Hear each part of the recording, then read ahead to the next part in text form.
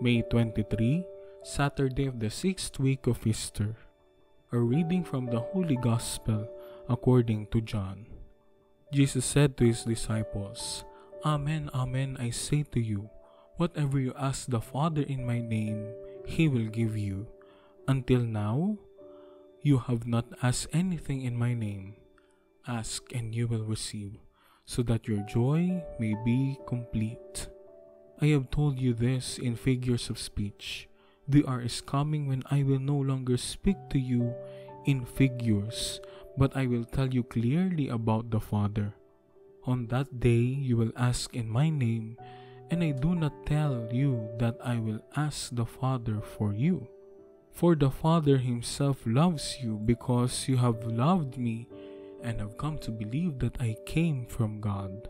I came from the Father and have come into the world. Now I am leaving the world and going back to the Father. The Gospel of the Lord.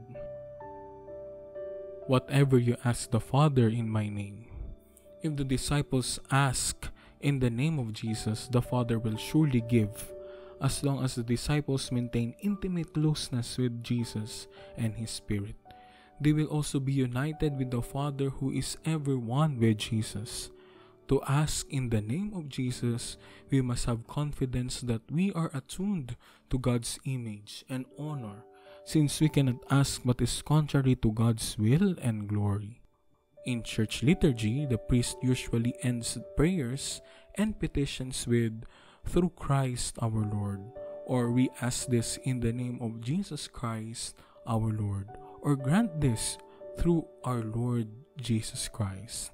The expression through Christ means not only agreement with the content of the prayer, but also recognition of Christ's role as mediator between God and the human race. Indeed, as the one mediator, Jesus becomes the bridge that establishes a new relationship between the believer and God we are able to approach God not with our own merits, but through Jesus, the new high priest.